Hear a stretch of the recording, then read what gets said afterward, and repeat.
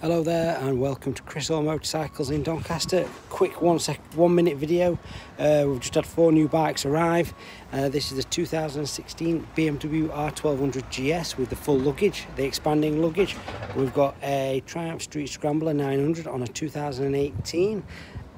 We've got a 2014 Z-Thou SX in real nice grey, fitted with a Monokey top box, real nice clean bit of kit.